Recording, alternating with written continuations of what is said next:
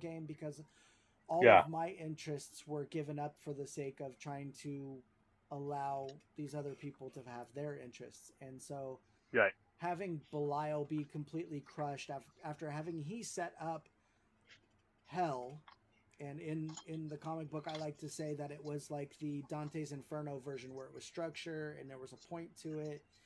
Yeah. And uh, in the oldest text, uh, the demon Belial was actually he was created to run hell. He was neither be- like evil nor good, but he was created to do a job, and he was doing his job when Lucifer got cast out of heaven to hell and Yeah. basically took it over. So basically, he was like he got tricked out of his throne.